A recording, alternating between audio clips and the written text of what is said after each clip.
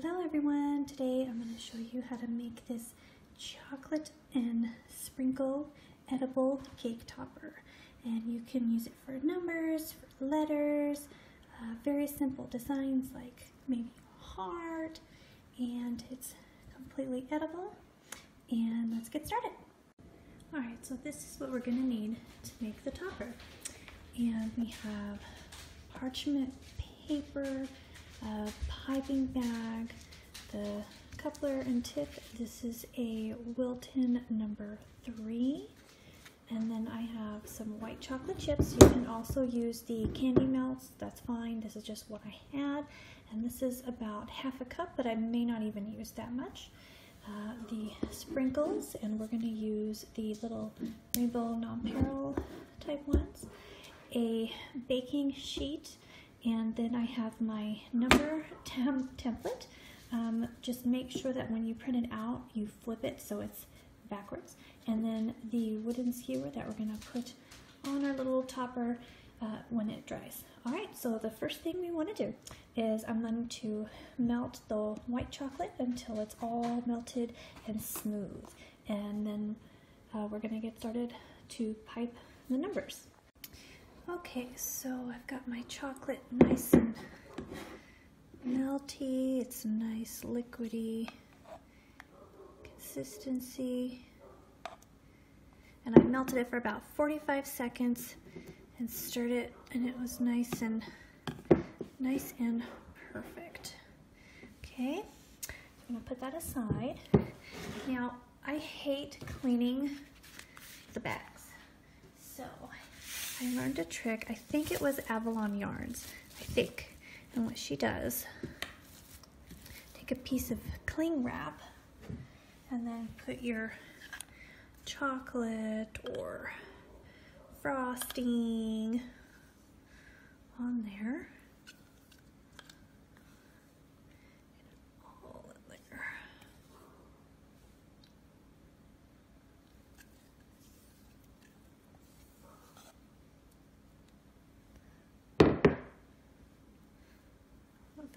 There.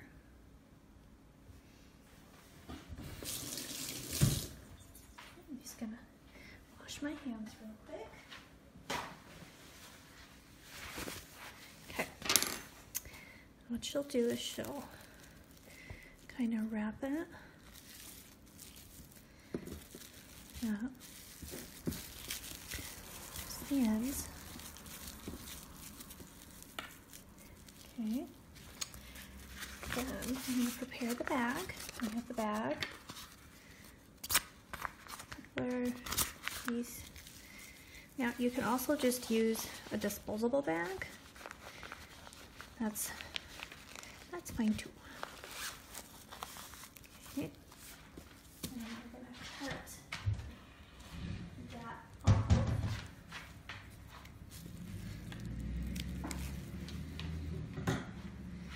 And put our number three tip. Oops.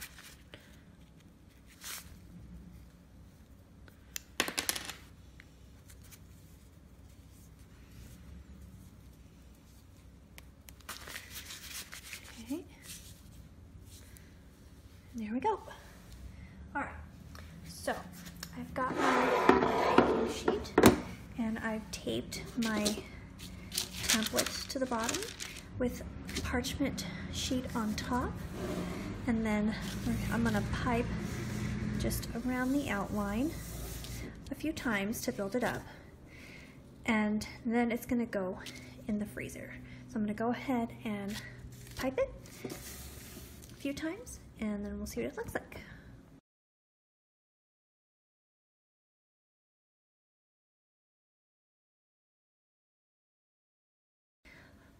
So I went around a few times and there were a few like little weak spots and breaks. I just went over it two, two or three times to kind of reinforce it and you want to build it kind of, kind of high. Okay, and then so now it's gonna go in the freezer for about five minutes until it sets and then we're gonna put the sprinkles and then put the second layer of chocolate over it. Okay, I just grab this out of the freezer and it's nice and set. So we're gonna add sprinkles. The easiest way I found to do it is put it in a coffee filter and just kind of pour it all inside. And it is gonna get messy.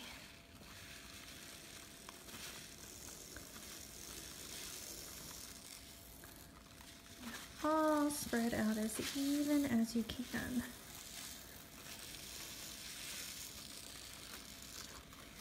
Okay, so wipe those ones away. It's just a dry paintbrush. I'm just kind of pushing them around. You want to spread them out in as even a layer as you can.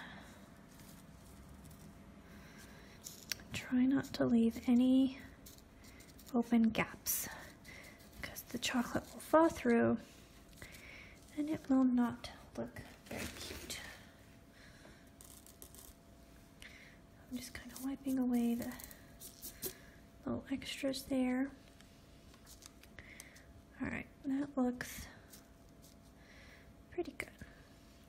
All right, now I'm going to take the rest of my chocolate and just fill in the rest of the number.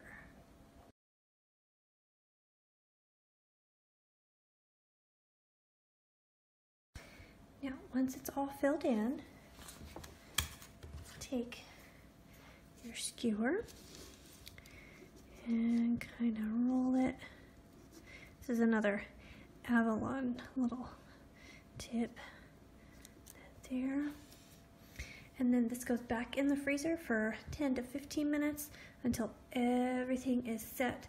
And then we're gonna peel it up and it should be a nice little sprinkle and chocolate cup cupcake topper. All right, it looks like this is pretty set. I'm gonna carefully peel it up. And there we go. Cute, completely edible chocolate and sprinkle topper. So this is the white chocolate. And then I also did one semi-sweet chocolate so you can see kind of the difference there. And I'm gonna actually use one of these for a birthday cake. So I thought that was pretty cute. So I hope you guys like it and let me know in the comments if you want to see anything else. And if you like this video, hit the like button and you can also find me on all of my social media links which are at the bottom in the video description. You can find me on Instagram, Facebook, Pinterest, and right here. Thanks for watching and hope you guys come back again. Bye!